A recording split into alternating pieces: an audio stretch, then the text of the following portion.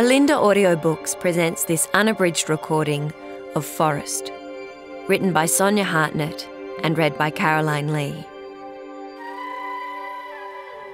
Be sure to visit our website at www.bolinda.com. Details of other available and forthcoming Bolinda audiobook releases can be found at the end of this recording.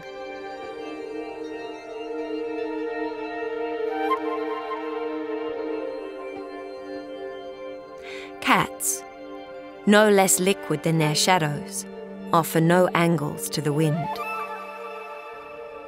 A.S.J. Tessimond. For Greg, who loves cats.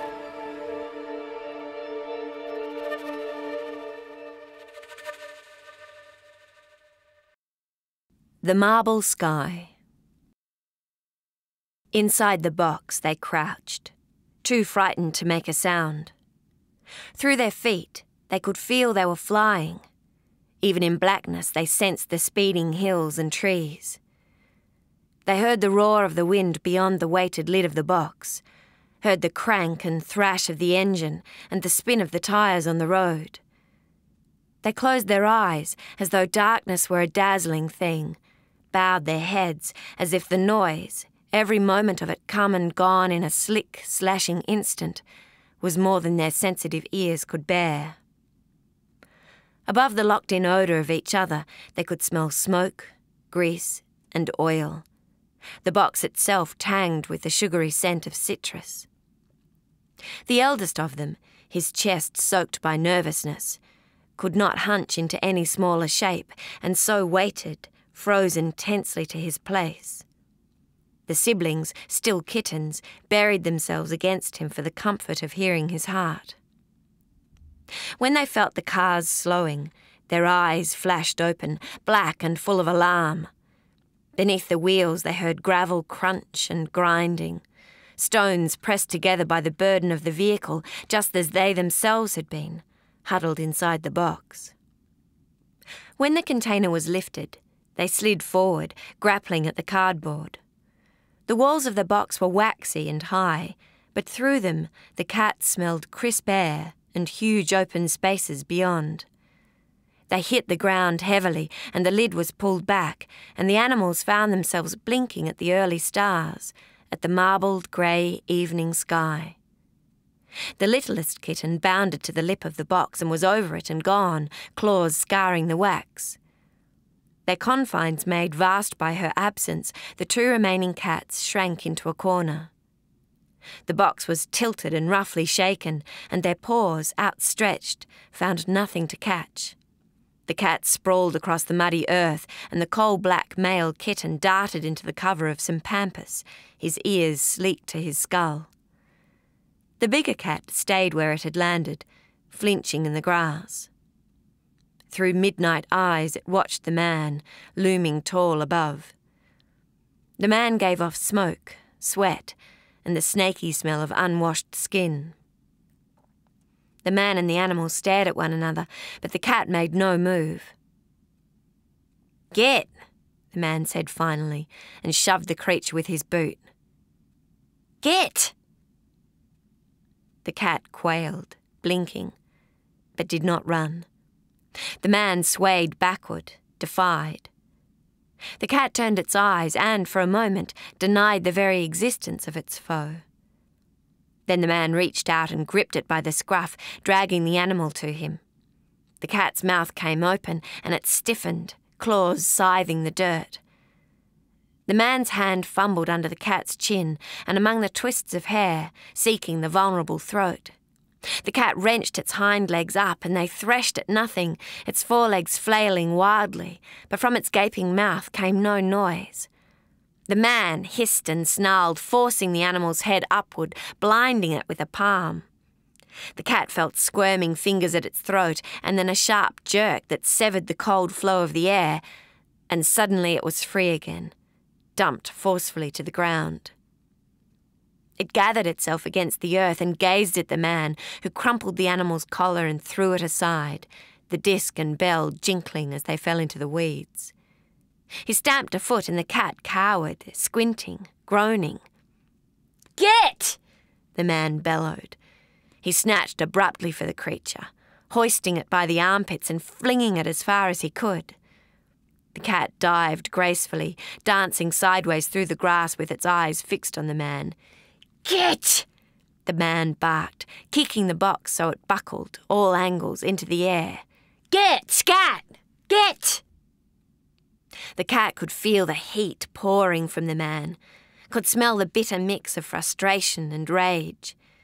It stayed still as it watched the man bundle himself into the car, and the car itself then leap into eager life, spinning its wheels as if bursting with impatience to be gone. It raced out of a cloud of its own fumes, gravel stinging off its underside. The dusty pall it left behind hung in the air for a long while, powdering red the dull slate sky. The pampas whispered as the hidden kitten rose to his feet. The bigger cat shook himself, noting at once the oddness left by the missing collar. Somewhere in his pedigree was a long haired splendidness of coat that had passed down to him, diluted into wispiness, and his ruff preserved a flattened ring. He had worn his collar every day of his five and a half years. As the kitten stepped forward, lifting his paws high from the clammy ground, the older cat sank to his haunches, wanly terrified. He stared at a world that was not his, furling his ears against its peculiar smell and sound. Something bumped his paw and he scrambled back, but it was only a moth stuttering a path across the dirt, wings folded primly over stern. The black and white cat sagged into the grass, his heart battering. The kitten, however, was quickly forgetting he had ever been afraid. He stretched his legs and yawned hugely.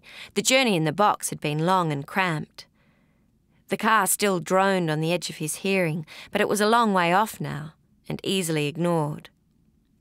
The young cat's coat was jet and glossless, and he moved like a shade, gliding past the box and then the collar, before trotting onto the shoulder of the road and stopping on its crest to look about.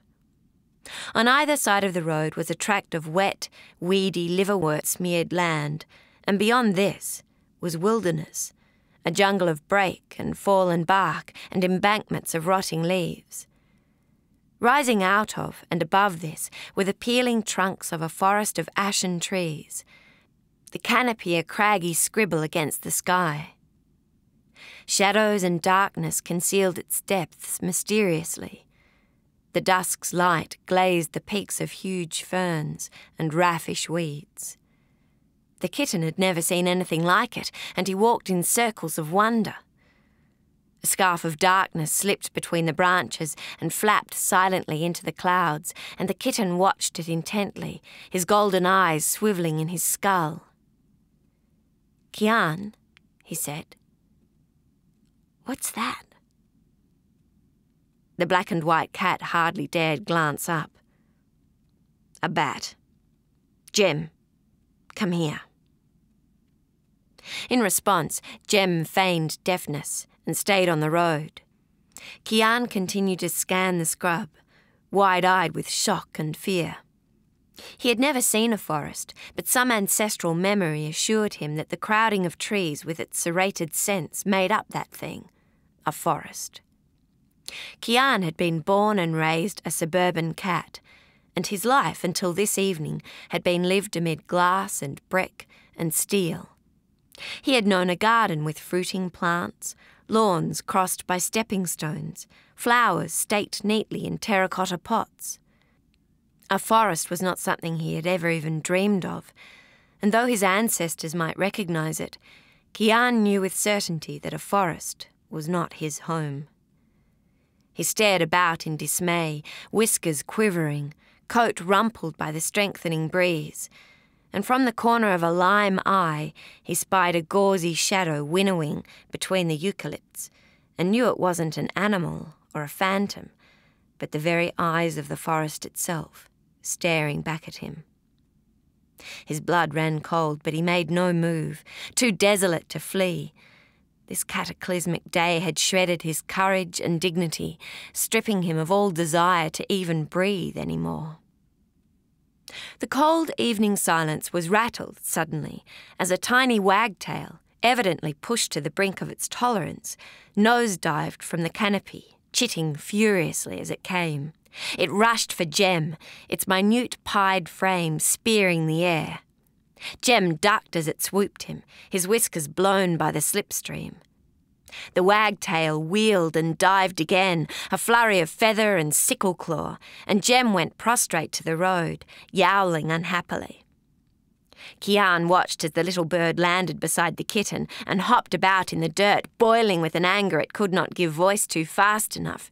Grr, grr, it spluttered at the kitten. Meow, meow, cack, cack, wah, wah, ah, ah, ah. The wagtail clearly believed that this gabble, though nonsensical to itself, made perfect sense to a cat. When the kitten did not react as desired, emotion overcame the bird, and it leapt into the air, shooting like a wasp for Jem's eyes. The kitten sprang to his feet and bolted.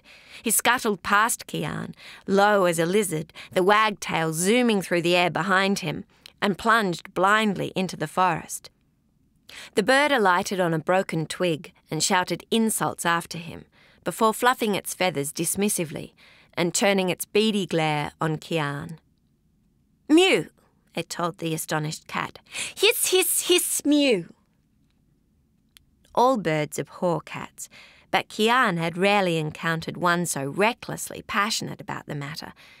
When his gaze swept the canopy, however, he saw it shudder with an equal animosity. Cats, he realised, were known here, and creatures hated them. He could not stay among the weeds forever, so he stepped cautiously into the concealment of the forest, and the wagtail supervised his leaving, tail bobbing, muttering abuse. Jem hurried from the shadows, and as the two cats wove into the forest, the kitten watched the older cat's ears turning and shifting, saw the ivory threads of his whiskers tremble, and felt the wariness in each snowy paw, and the last of his bravery deserted him and he slunk along the earth. Kian stopped at the base of a stringy bark, and Jem followed his gaze up its crusted, blood dark trunk. Callie, Kian murmured, and without hesitation, the small kitten came down, rump first and wriggling, slipping at the last moment, so she dropped into a hill of sodden leaves. She stood up and shook herself before touching her nose to Jem's. Siblings, the kittens could hardly have been less alike, for dainty Callie carried no suggestion of her robust brother's sooty hide. Instead, her coat was a patchwork of red, apricot, storm grey, and cream, each colour leaking into the others like water in overflowed puddles. Just the tip of her muzzle was white, as if she'd drunk too greedily from a plate of milk, and perhaps walked through it as well, for her paws were similarly stained. Her amber eyes were round now, and her ears pirouetted. She crouched beside her brother and looked uncertainly at Kian. What is this place? she asked him. Why have we come here? It went against his feline nature to admit to being nonplussed, so Kian disregarded the question. Jem pinned down a leaf that was ticking in the wind and told his sister, the man took off Kian's collar. It sounded ominous, and Callie pressed to the ground. Pinging and clicking all around them were the eerie sounds of the shifting forest, the retreat of the daytime inhabitants to secure sleeping places, the waking of those who rose with the moon. Bickering broke out among roosting birds, and the brief flurried commotion was followed by silence, fragile as shale. The trees and earth drew breath as one, exhaling a ghost's frosty sigh. The breeze carried an odour that, to the cats, was physical as the trees, streaked as it was with evidence of unknown animals and eccentric landscapes. This spectre of scent was the most nerve wracking aspect of their altogether awful plight. Kian knew he could not strain his senses more vigilantly, nor be more prepared to fly, but he felt and knew the kittens felt, hopelessly endangered and exposed. He stared at the peeling trunks and massing ferns, daunted, fretful for the comfort of his cemented home. We don't belong here, he told the kittens softly. We have to go back where we came from. The siblings blinked at him. Jem asked, Is that place still real? Maybe it's gone. Maybe it's gone to nothing, and this place is here instead. No. Kian looked through the canopy to the scattering of stars. It's still there, where it was. How do you know? Kian paused. He didn't know how he knew, yet he felt sure to the core of his heaviest bones, could hear his blood caterwauling that it was true. His home was where it had always been, and it was he who had gone. We hope you enjoyed this preview. To continue listening to this audiobook on Google Play Books, use the link in the video description.